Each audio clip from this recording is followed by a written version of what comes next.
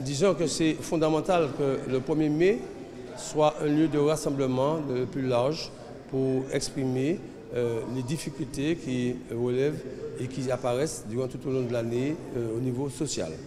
Donc, euh, certaines organisations syndicales ont fait le choix d'une démarche commune et je les en félicite. C'est important pour nous que euh, Fort-de-France est à la capitale, que ce soit là que s'exprime, euh, que nous exprimons euh, le ras-le-bol que nous vivons en Martinique, eu égard à la politique sociale, à la politique mise en place par les, différents gouvernements, avec toute l'insécurité,